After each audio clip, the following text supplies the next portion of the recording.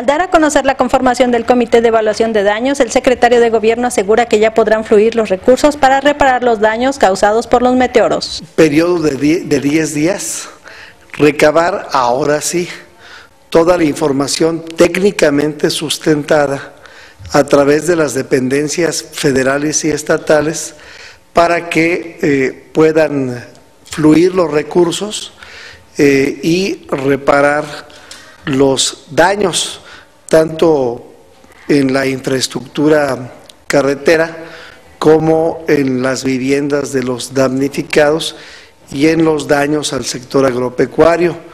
También tiene por objeto el día de hoy este comité, será un tema, el que las dependencias puedan pedir anticipos para aplicarlos en, situaciones de, urgencia, anticipos este, de fondos del Fondo de Desastres. Entonces, eh, hoy se instalará este comité. Resaltó que ya son 10 los municipios declarados por el Fonden en situación emergente, los otros son atendidos por el gobierno estatal. Eh, ya el, eh, la Secretaría de Gobernación aceptó la solicitud de declaración de emergencia por eh, efectos fluviales en el caso de San Lucas. Entonces se integrará San Lucas a los nueve municipios que ya fueron declarados. Las contingencias que ahí se han generado, así se ha estado haciendo.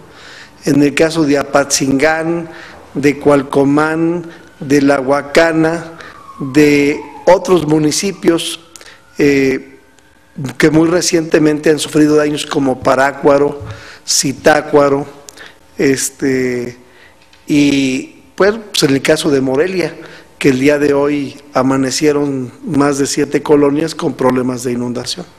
Los mayores daños se han registrado en Huetamo y San Lucas, por lo que las autoridades sanitarias vigilan que no surjan problemas de epidemias.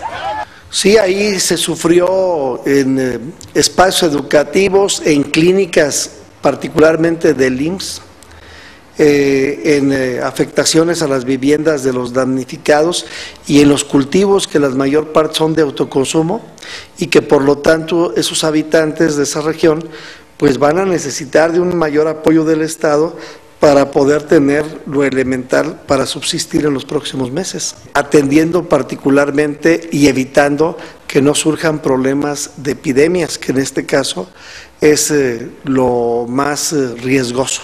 Pero hay una campaña intensa este, de limpieza, de desinfección, de atención a los habitantes. Gracias a la declaratoria del Fonden ya se otorga mayor apoyo en las zonas afectadas. Hoy en la madrugada a Protección Civil llegaron más de 10 mil este, cobertores, más de 10 mil cobijas y estarán llegando en las próximas horas despensas, agua potable, kits de limpieza, colchonetas, ya son recursos del FONDEM.